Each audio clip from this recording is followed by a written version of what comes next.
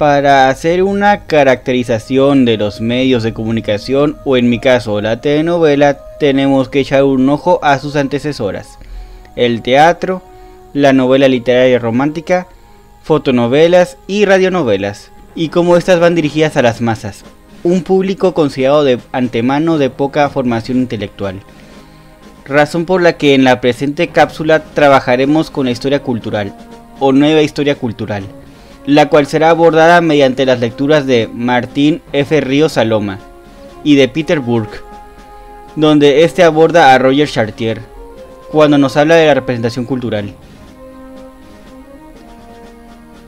La memoria colectiva se convirtió en un discurso historiográfico. La escuela de las mentalidades se abrió a mediados de los años de 1980, desarrollando la corriente historiográfica de historia cultural integrando elementos sociológicos y lingüísticos. Su único fin era comprender las realidades históricas. Dicha corriente de investigación se consolidó a principios de los 90, conjugándose con el postestructuralismo, la antropología y la posmodernidad. La historia cultural y nueva historia cultural. Una parte de la historia social del conocimiento se centra en los libros de consulta que florecen en la modernidad, antes de despegar el siglo XVIII, y el mismo no se retiene a la hora de contar el papel multiplicador que hasta sus títulos expresaban, catálogo, corpus o directorio.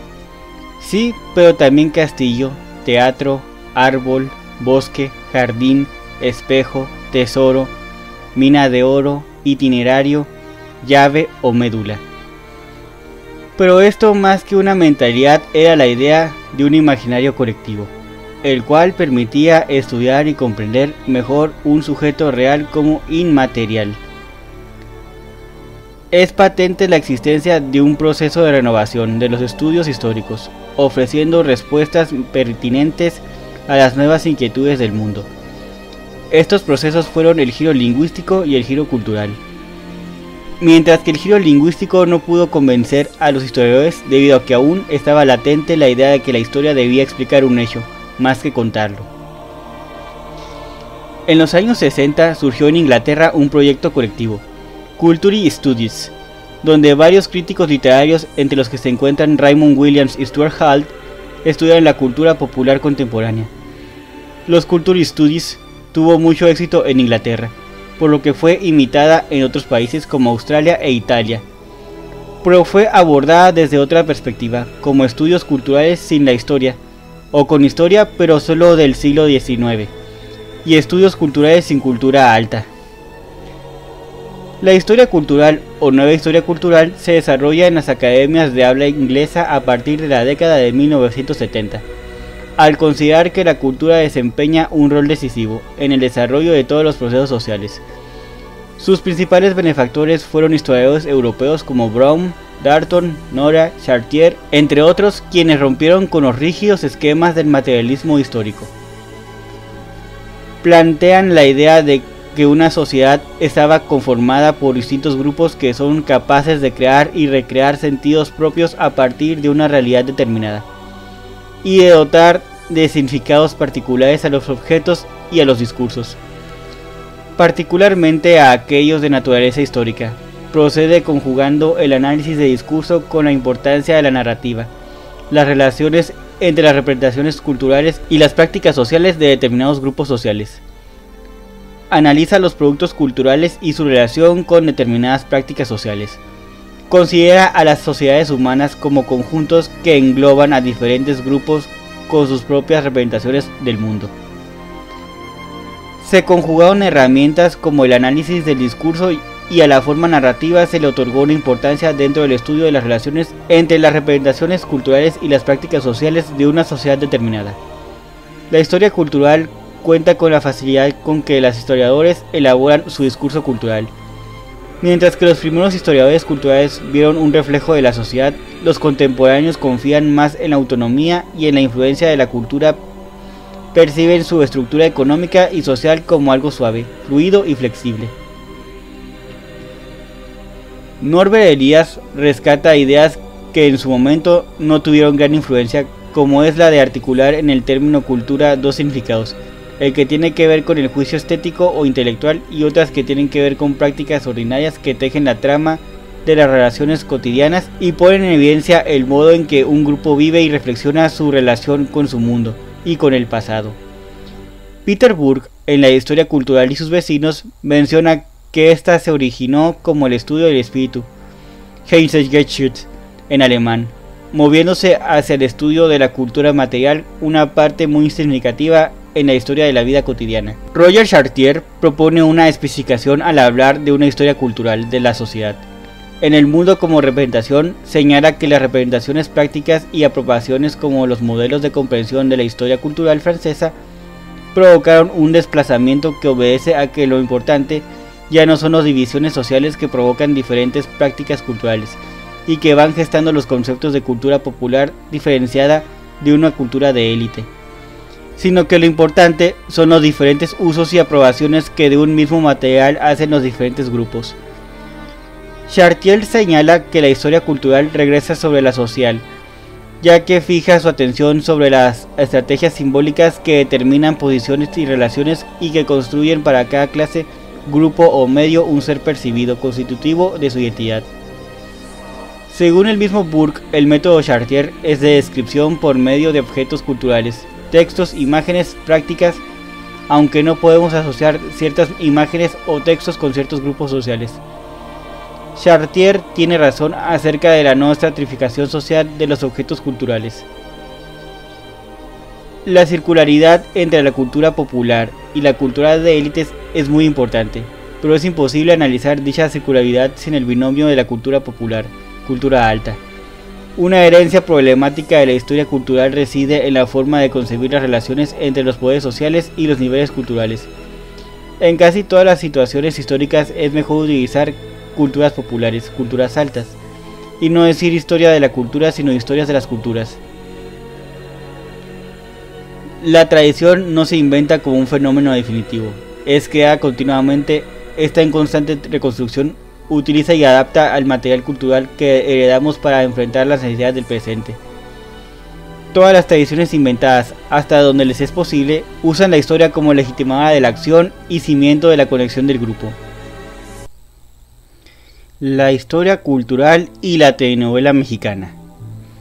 Podemos escribir la historia cultural empezando con objetos culturales, textos, imágenes y prácticas.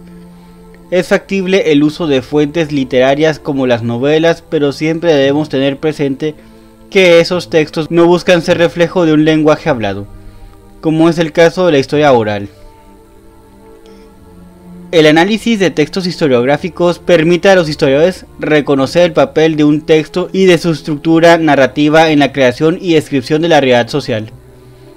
Los historiadores distinguimos entre la ficción y los hechos históricos, aunque todo intento de describir históricamente los hechos se apoya en formas narrativas imaginarias.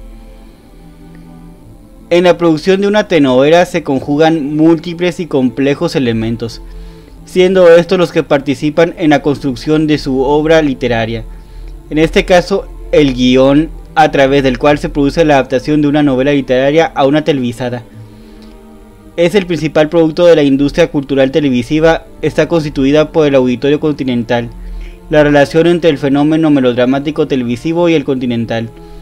El melodrama de la vida diaria es un elemento de composición cultural inmediato a cualquier formación social urbana. El melodrama casero, como lo conocemos hoy en día, no nació en la televisión, incluso no nació en México. La verdad es que estas dieron a luz en la Europa del siglo XVII, en la novela literaria y el teatro de las cuales heredaron su formato y estilo de entretenimiento, en especial con temática de misterio y terror. Con los años se miraría a la prensa con las estrategias narrativas heredadas de la literatura clásica, llegando en este formato a América durante el siglo XX. circulaba como panfletos y periódicos semanales. Aquí es donde entra quien todos consideran el antecedente más directo de esas producciones, la soap opera de Estados Unidos. En la radio, radionovelas, donde incorporaron efectos musicales. Después pasarían a la televisión. Con el pasar de los años, estas producciones fueron exportadas a América Latina, donde sufrió transformaciones.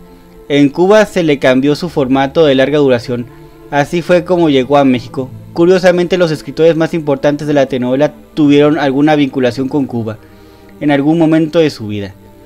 Cariat Bravo Adams, Delia Fiallo, Inés Rodena y Yolanda Vargas Dulce. Son las escritoras más representativas del género. En el país pasó algo muy curioso antes de la llegada a la televisión. Fue el auge de las producciones fílmicas, la llamada Edad de Oro del cine mexicano, quien también fue otra representante de las llamadas historias del corazón. Muchas de estas películas representaron la cultura de México de aquel entonces. Allá en el Rancho Grande, por ejemplo, nos muestra de una forma muy cómica lo que era la vida en un rancho mexicano de aquel entonces. Dichas películas lo que buscaban era darle una cultura a la sociedad, la imagen del folclore mexicano. Al llegar la televisión y debido al revés económico que sufrió la industria del cine, muchos actores entraron a las filas de la televisión antes de que ésta se fuera. Antes de la telenovela estuvo el teleteatro, puestas en escenas de clásicos de la literatura, hasta el 12 de junio de 1958, cuando a las 6.30 de la tarde comenzó la transmisión de Senda Prohibida, el primer melodrama en la historia de México. Fue una historia de 50 capítulos de media hora, completamente en vivo a blanco y negro. Poco a poco la telenovela fue adquiriendo su propio lenguaje audiovisual podemos decir que fueron el factor de aprendizaje social y cultural propias de cada individuo. Producto de su historia social, las cuales pueden definir el margen de lo posible y deseable de cada práctica individual y social.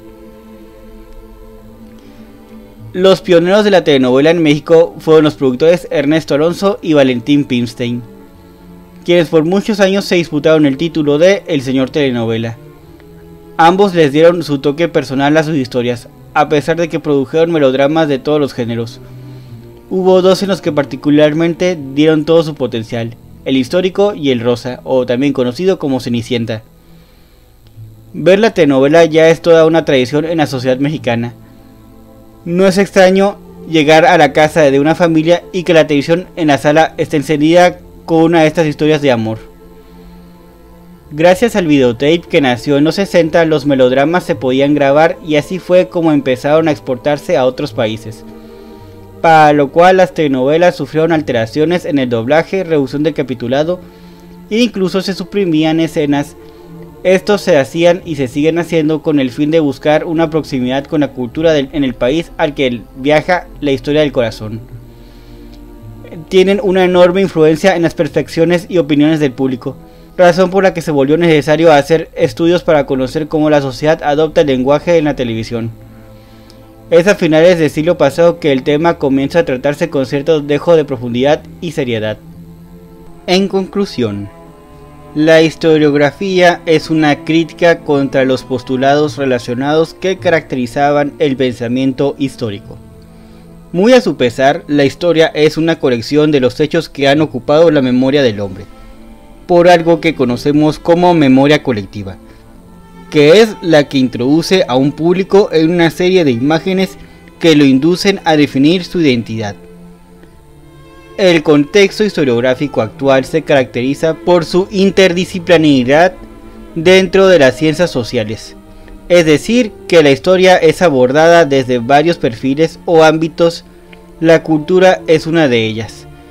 La historia cultural tuvo sus orígenes en los años de 1980, al mismo tiempo que la lingüística estudiaban las respuestas de las distintas sociedades en un principio mediante el estudio del lenguaje, las creencias y su iconografía. En años posteriores les fueron otorgadas nuevas temáticas y por tanto nuevas herramientas. La forma narrativa es una de las principales interpretaciones dentro de la historia cultural, por su facilidad para exponer los resultados. No hay que olvidar que por encima de las investigaciones y análisis, la historia es una narración. Según Burke, la historia cultural no tenía sustancia ya que era y es muy importante, como dicen los ingleses, tener los pies en la tierra. La televisión latinoamericana puede ser rica en agudeza, relevancia social y estilo cultural nacional. A través de dos años ha sido proveedora no solo de entretenimiento, sino de imágenes congruentes con la sociedad, participando de cierto modo en la construcción de la nación y en la incrementada transnacionalización en América Latina. El formato y contenido de la telenovela por muchos años mantuvieron un conservadurismo social y cultural plenamente compartido por el gobierno, formando parte de la cultura de México, a pesar de estar en un estereotipo plantea temáticas de interés social, como lo podría significar la independencia femenina, el divorcio, la definición social, el narcotráfico, entre muchos otros temas. Nos muestra situaciones sociales contemporáneas o históricas, la telenovela mexicana es la gran políglota que une naciones a través de la historia del corazón.